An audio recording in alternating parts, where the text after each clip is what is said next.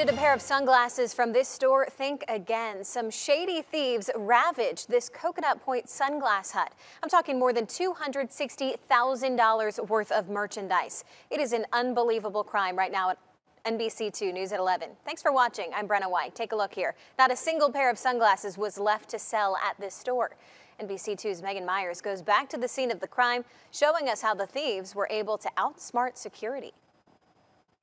The criminals wiped the store clean. The shelves are empty tonight and the doors are chained up. Kind of scares me, thinking, how can they get away with this? Stashing away every pair of sunglasses in the store and making a run for it. I'm totally shocked. An employee showed up to this sunglass hut in Coconut Point to find the door lock missing cash stolen from the register, and more than $200,000 worth of sunglasses gone. It's sad and I, I feel bad for Sunglass Hut. I'm a die-hard customer.